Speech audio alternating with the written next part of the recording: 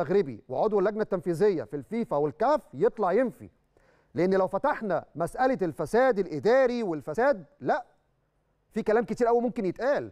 يكفي إن أنا كمسؤول رياضي مصري أو أندية مصرية ما عندهاش مسؤول قاعد جوه على كرسي وكان ضارب حكم. أنا ما عنديش حد ضرب حكم ومكمل في مكانه. أنا كأندية مصرية أو كمسؤولين مصريين ما عندناش مشكلة مع حد ومكملين في مكاننا وورقنا سليم.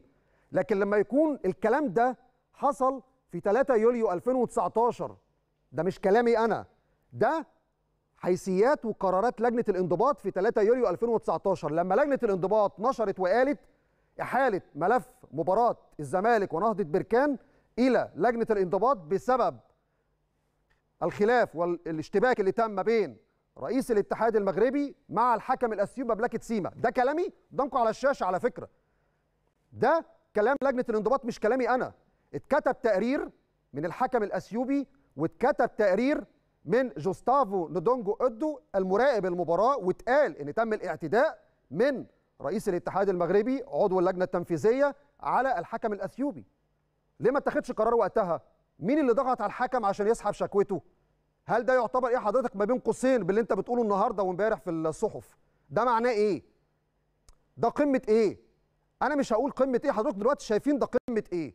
ده قمة إيه اللي حضرتك قدام على الشاشة ده دلوقتي؟ يبقى لما نتكلم عن الاحتكار والفساد لازم نوضح إحنا بنتكلم على إيه.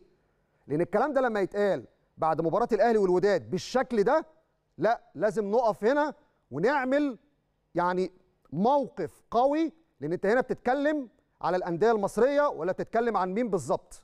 وخد بالك أنت بتعمل إثارة ما بين الجماهير بشكل مش كويس. حضرتك فايز والنادي الأهلي احترم القرارات وكان موجود في الملعب. والكابتن محمود الخطيب احترم البروتوكول وكان موجود في تسليم الميداليات وكلنا عارفين المشهد المباراه كان عامل إزاي. ومع ذلك تخرج بتصريحات تقول فيها زمن الاحتكار والفساد في أفريقيا كان ولا؟ ولا على مين؟ مين اللي كان عامل احتكار وفساد؟ أتمنى أتمنى إن يكون في خروج رسمي من السيد فوزي الاججع بنفسه صوت وصورة يطلع يوضح. يا إما هو بنفسه يرفع قضية على المواقع اللي نشرت الكلام ده. هو بنفسه.